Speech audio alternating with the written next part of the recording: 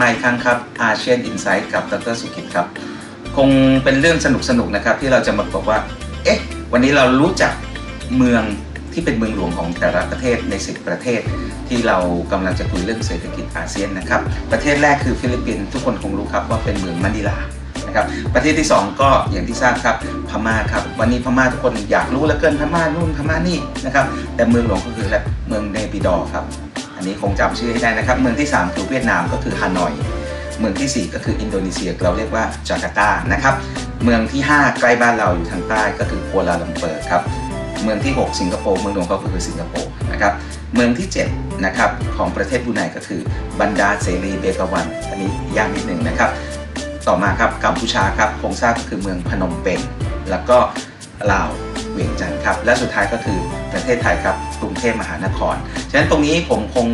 ฝากท่านไว้นะครับว่าเวลาไปคุยกับใครเขาถามถึงเมืองหลวงแล้วเราตอบไม่ได้ ผมคิดว่าเป็นเรื่องที่เสียฟอร์มเป็นอย่างยิ่งนะครับ ฉะนั้นพอเรารู้ตรงนี้เสร็จเราหาจุดเด่นจุดด้อยแล้วก็สิ่งที่น่าจะสนใจมากที่สุดในการทำธุรกิจกับเขานะครับ เราจะเริ่มต้นจากประเทศที่เราแบ่งกลุ่มในสิประเทศไว้นะครับ เราเรียกกลุ่มประเทศทางด้านอิสลาม จะมีอยู่ 3 ประเทศครับที่เป็นสายอิสลามโดยแท้แล้วก็มีเยอะด้วยนะครับ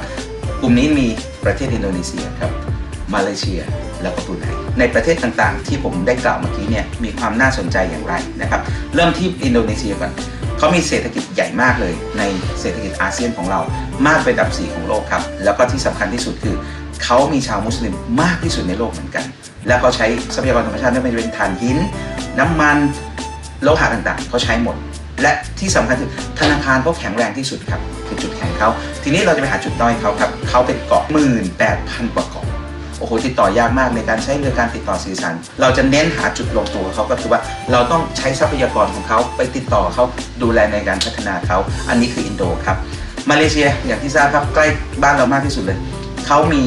รายได้ประชาชนต่อปีเนี่ยอันดับ 3 ของอาเซียนเลยนะครับ แล้วก็มีเงินที่เป็นเงินทุนสำรองทางด้านน้ำมันที่เอาไปซื้อมีการพัฒนาเนี่ยสูงสุดนะครับและก๊าซธรรมชาติอันดับเอเชียแปซิฟิกเลย และที่สำคัญเขามีแรงงานที่มีทักษะนะครับจุดอ่อนคือประชาชนเขาน้อยครับเขาขาดแคลนแรงงานครับอ่าอันนี้เป็นช่องว่างฉะนั้นถ้าเราจะไปจับมือเขาเนี่ยเขาอยากจะพัฒนาตัวเองในปี 2563 เป็นประเทศที่พัฒนาแล้วนะครับสินค้าส่งออกคล้ายกับไทยครับโดยเฉพาะสินค้าฮาลาล นะครับ และประเทศสุดท้ายประเทศบรูไนประเทศบรูไนนี่มีรายได้เฉลี่ยอันดับ 2 ในอาเซียน แล้วก็อันดับที่ 26 ของโลกครับ น้ำมันอันดับ 4 ของอาเซียน ประชากรก็มีแค่ 4 0 0 0 0 0 คนเองครับขาดแคลนแรงงานอีกแล้วสิงคโปร์และอินโดมาเลบูไนเขาลิงก์ไว้หมดก็จับมือไว้หมดแล้ว ฉะนั้นถ้าเราจะจับมือเขา